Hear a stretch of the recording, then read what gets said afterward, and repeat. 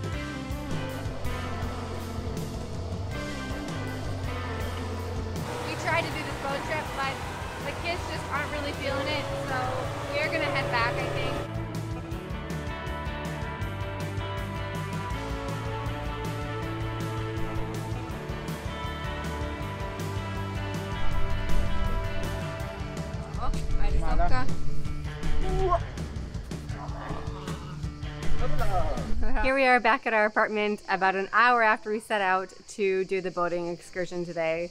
Um, what happened? We went out, it was okay. They were just not feeling it on the boat.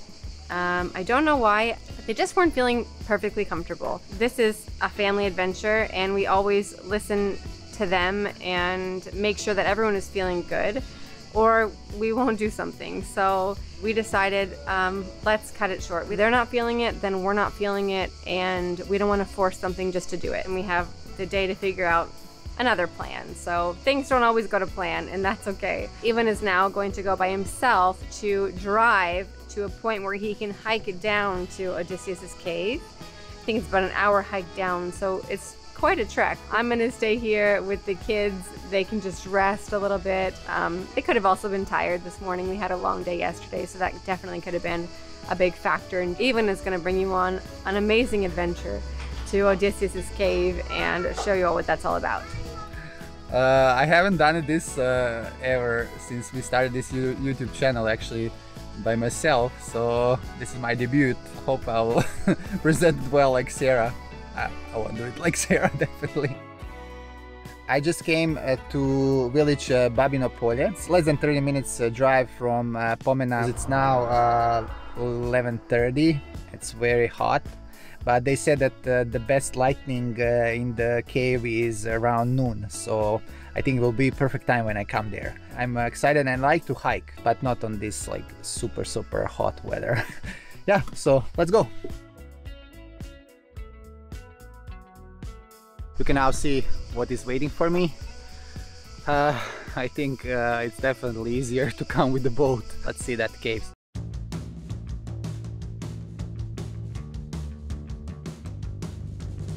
I'll tell you a little bit about this uh, legend uh, and about this uh, cave. Odysseus, uh, on his one of his journeys, his boat wrecked here on island Mljet.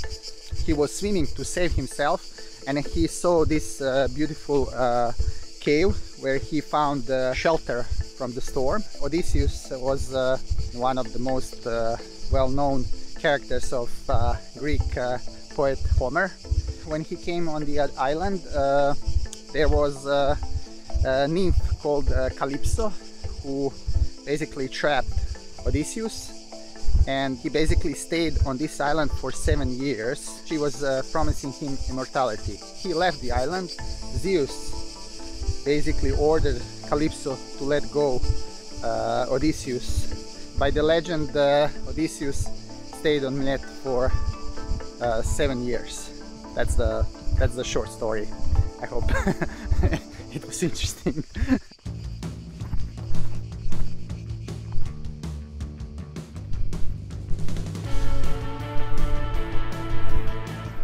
I'll also uh, tell you one story how we started our operation tours. When I was still a student, I worked for my uh, cousin's uh, husband. He has a tourist agency here in Croatia, which is basically specialized only in hiking.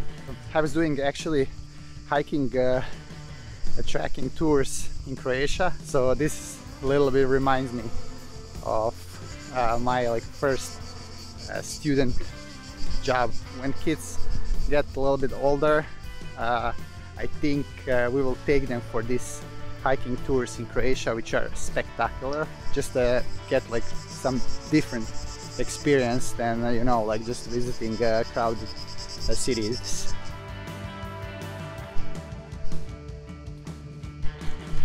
You will see lots of uh, olive trees with olives. Another thing which is uh, important to say, you should like definitely take some water with you. It's very hot.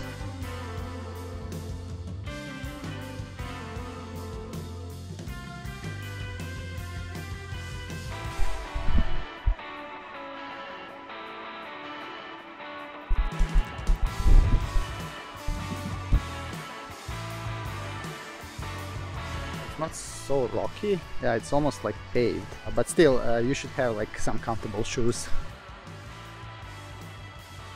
Uh, last part approaching to the cave is uh, definitely steep. I just uh, some younger couple and they were like really breathing heavily. First part is not so steep, but the last part is very steep.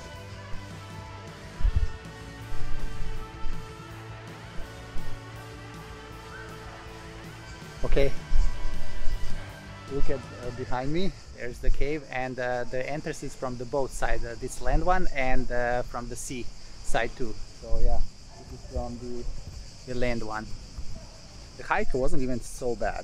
Uh, I think it took me a little bit less like maybe like 30 minutes.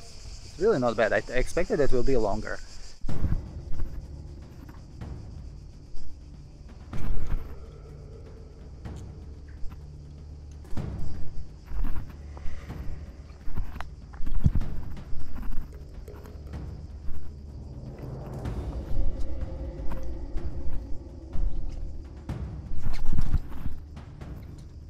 this last part of the trail is very I say rough.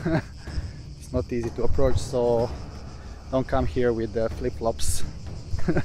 Definitely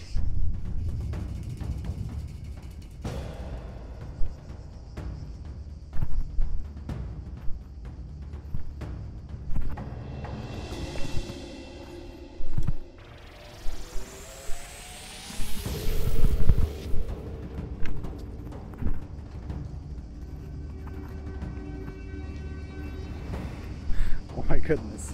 This is crazy, crazy trail, I have to say that.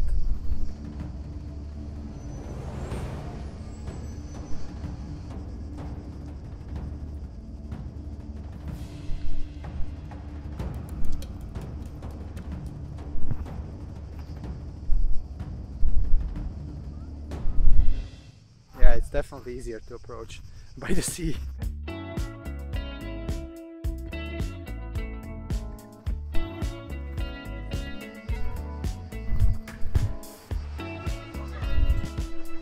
One other recommendation. Uh, i saw one couple here with three little kids coming up. My recommendation don't come here with the kids with small kids.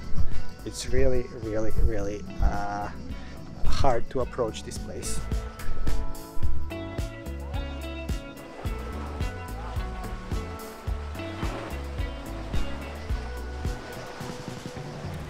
Okay i just came in front of the cave and uh, so now I'll do a little jump here maybe the highest uh, point that I jump ever in my life. So it's kind of like scary. Okay, let's go.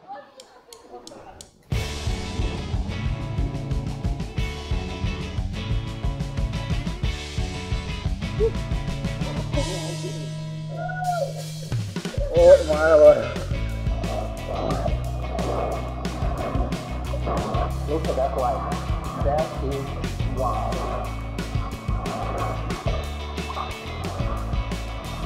you come from that, I think this is uh, my spot to see.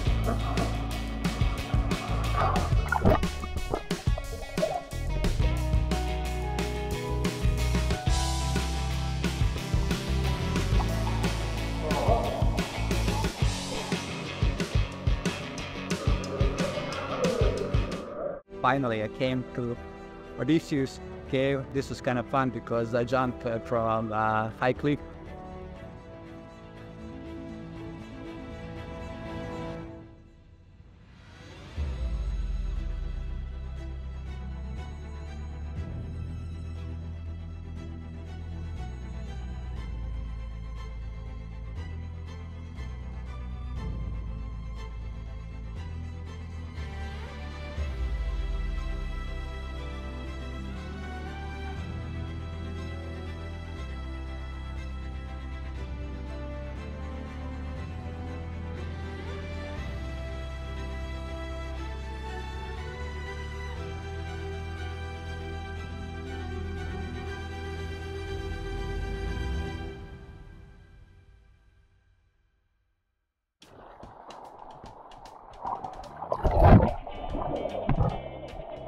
This is definitely high for me, so I'll show you.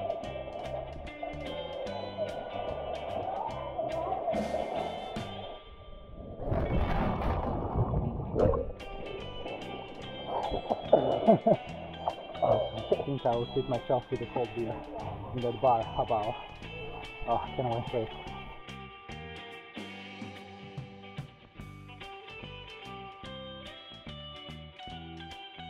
my first like solo YouTube experience and uh, I really enjoy it. Like it's so peaceful, sit there, listen music, just have a beer, uh, enjoy the nature. Uh, uh, I, I really like it a lot. That's from me guys.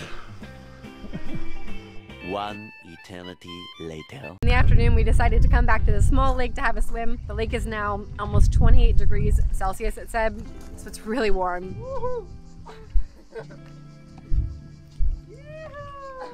Chevita. Mommy got super cold. Oh, super cold. We're soaking up the last hours of, actually the last minutes of sunshine before the sun starts going behind the hills here. What a lovely afternoon, isn't it? I just wanted to point out how quiet it is right now and how peaceful it is right here. It's like seven o'clock and there's practically nobody here on the trails. It's so quiet. I feel like we're alone in the park. This isn't like some remote part in the park. This is the small lake, like a really popular place. So really quiet down here in the evening. Okay, we just got packed up um, and put everything in the car. And now, before going to the ferry, we're gonna make a couple other little stops. We're just in no rush to get back today, so we're gonna take our time, we'll go for one last swim uh, before we hit the road and go back to Zagreb, right? Uh. Here we go to the first family hike that we are ever doing together. Is that right? Yeah, first yeah. time. So you guys ready for a hike? Uh-huh. Yeah? All right. We were talking to the apartment owners here and they said it's really like an easy hike. Lots of retirees come here and do it. so, yeah. um, so they said it's really like not difficult. And also we talked to one of the people that works at the park yesterday. They said it's really okay. It's safe. It's like an easy kind of hike up and the path is really nice. So um, so we're gonna give it a try. I think we can do it. If uh, Sophie will have a lot of problems, Daddy will carry her. Is that true, Sophie? No?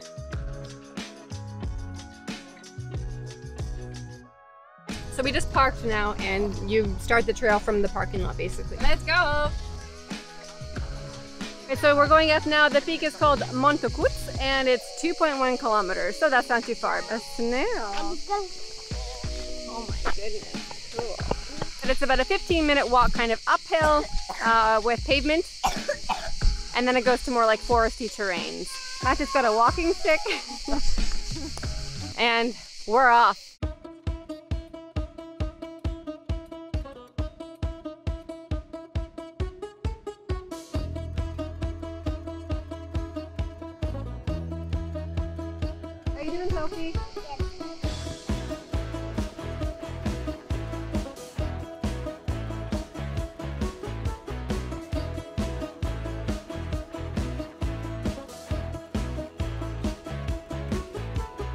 Okay, we are almost at the top. We just asked someone coming down if it's close. She said yes, it's just around the corner. The kids just started asking us now, like, are we close, are we close? And we've been walking for almost an hour now, so they've been doing really great. Sophie actually walked almost all of the second half by herself, but they've been doing great. We're almost there. The last time we saw us at 600 meters, and I think we've been walking for a kilometer since we saw that 600 meter sign. so I'm not sure how accurate those signs are. Oh, Just up here, you can see the structure.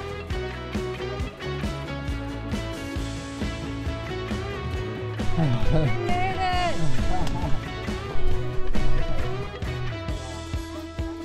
Did it, guys. Good job. Really good job, you guys. We made it to the top. Definitely wasn't as easy as we thought it would be. It definitely takes a little bit of effort. I thought it would be a little bit of an, I don't know, I guess an easier walk up. I don't know. An hour and 15 minutes, huh? Mm-hmm. Yeah, someone told us it was going to take 45 minutes, but it took us an hour and 15, so oh, a little longer. So now we're going to enjoy the views, take a little break, have a snack, have some water, and then head back down. So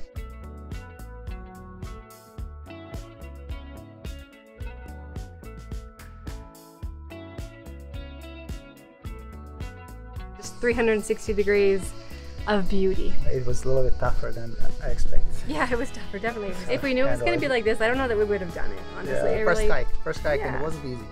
They pushed through though, and they did it, and we're really proud of them. How are you feeling, sweetheart? Good. How are you feeling? Good. Did you do it? How was it? Holy? Good. We walked a lot because there you can see uh, where we walked from, and it now feels like we walked. Oh my god! I never walked that much. All right, starting the trek back down.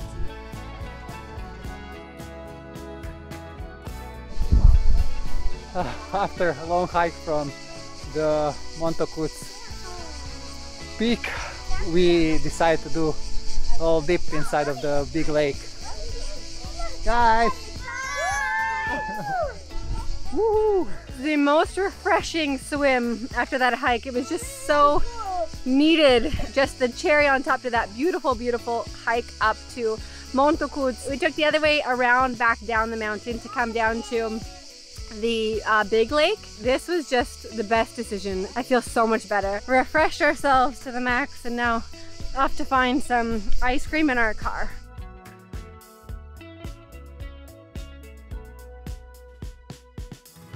So how's there? We were there, actually that peak.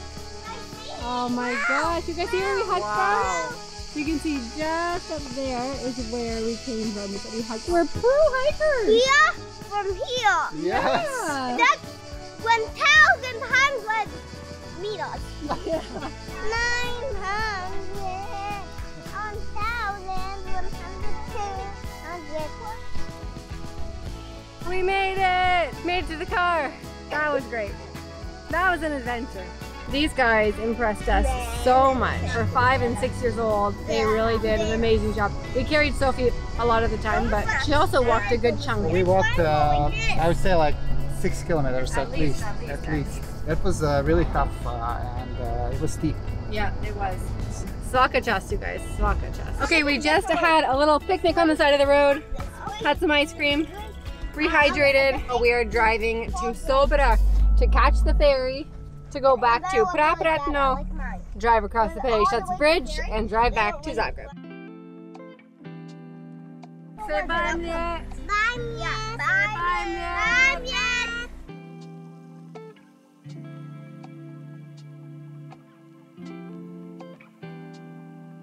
driving now to the Pelješki Most, the Bridge. It was rainy the day when we were coming over here, so we didn't really stop to show you the bridge very much. Uh, so we're gonna just make a quick stop here. Hi, guys, picture. All right, we are at the Pelješki Most. So the bridge itself was completed this year, just actually about a month ago. It is almost two and a half kilometers in length. It is just a massive, massive project, historic for Croatia, how it's connecting the country for the first time. Before you had to pass through um, a little bit of Bosnia. Now, now there's no border crossing anymore. You can go right from bigger part of Croatia right down to the tip without crossing any borders. A big, big moment for Croatia.